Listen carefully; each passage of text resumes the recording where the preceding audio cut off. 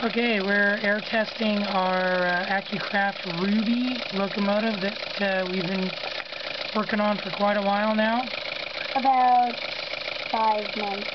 Well, yeah, well actually we're kind of on a year, but we had some downtime on that.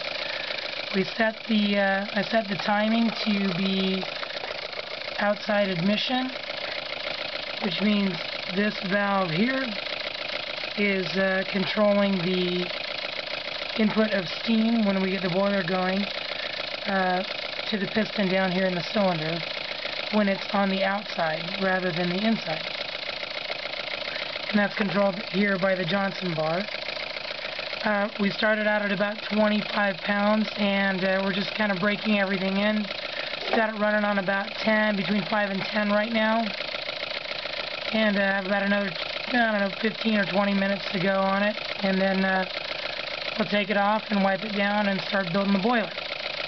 But anyways, uh, everything seems to be quartered correctly and running smoothly, so real pleased with uh, progress at this point.